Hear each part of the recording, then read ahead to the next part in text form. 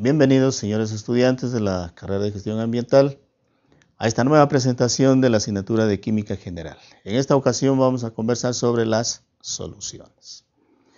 El trabajo de laboratorio está centrado en lo que son las soluciones y reactivos concentrados. En esta ocasión vamos a profundizar un poco sobre las soluciones. ¿Qué son las soluciones? Son mezclas homogéneas de dos o más sustancias que intervienen en proporciones variables. Básicamente una disolución está compuesta de soluto y disolvente. El soluto puede ser sólido, líquido o gas. El disolvente generalmente o universalmente es el agua.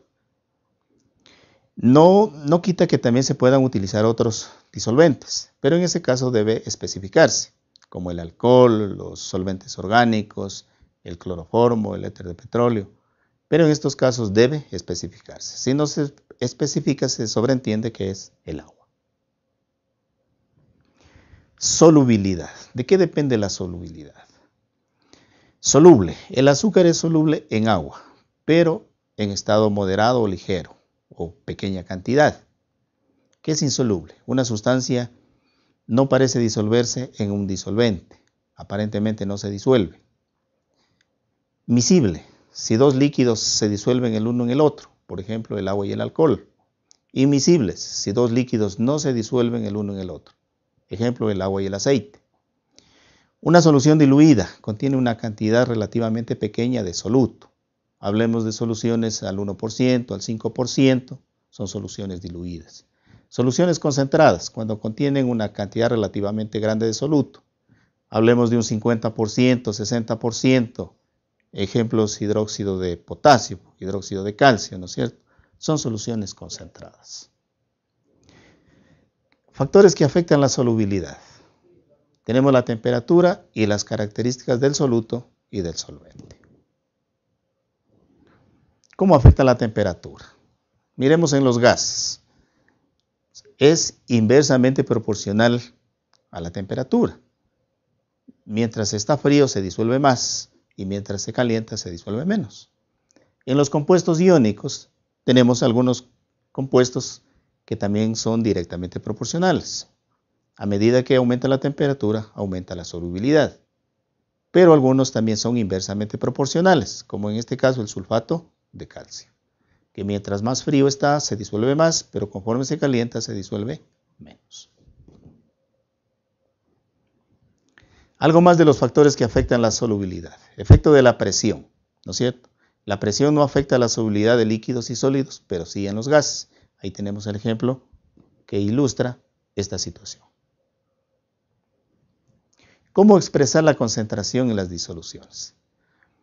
Primeramente tenemos porcentaje, peso a peso sería importante definir lo que es el porcentaje. Son los gramos de soluto que hay en 100 gramos de disolución.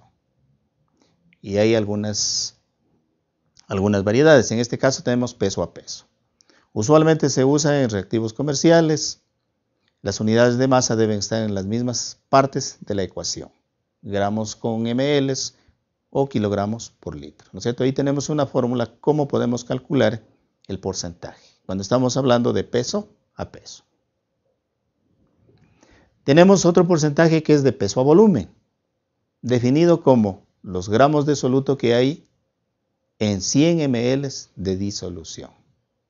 De la igual manera, se utilizan en soluciones preparadas. Les decía que el trabajo de laboratorio está básicamente enmarcado en lo que son disoluciones. Las unidades de masa deben ser de la misma magnitud que las del volumen. Decíamos gramos por ml o kilogramos por litro. Tenemos ahí también la fórmula para poder calcular esta concentración. Luego tenemos el porcentaje de volumen a volumen, definido como el volumen de soluto que hay en 100 ml de disolución. Usualmente se usa en reactivos comerciales donde la sustancia es un líquido, ¿no es cierto? En soluciones preparadas de igual manera, las unidades de volumen deben ser las mismas de la ecuación que tenemos, ¿no es cierto? Ahí ya tenemos la ecuación para poder calcular. Un ejemplo de la concentración. Dice, una botella de vino tinto tiene 13% volumen-volumen, de etanol. Calcule el volumen de etanol en la botella de vino de 750 ml, ¿no es cierto? Ahí tenemos una fórmula, lo podemos despejar, ¿no es cierto? Y tendríamos ya qué volumen de etanol tiene.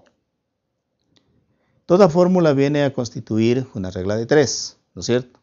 Otra forma que podríamos calcular, podríamos decir, en 100 ml del vino hay 13% de etanol, en 750 del vino, ¿cuánto de etanol tenemos? ¿No es cierto? Bastante sencillo de hacer este cálculo.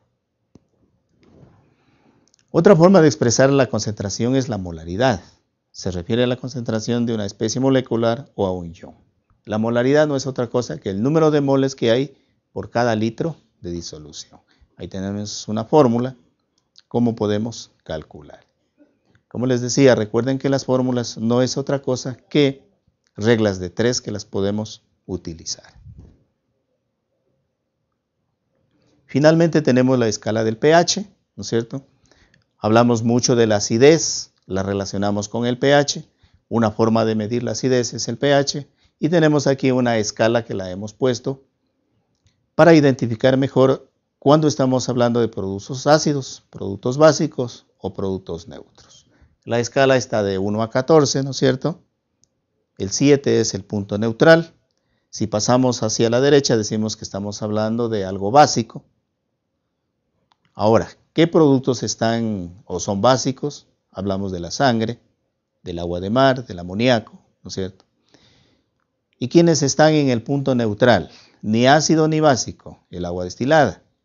Y en cambio, ¿cuáles son los ácidos? Tenemos el zumo de limón, ¿no es cierto? Sumamente ácido, tiene ácido cítrico.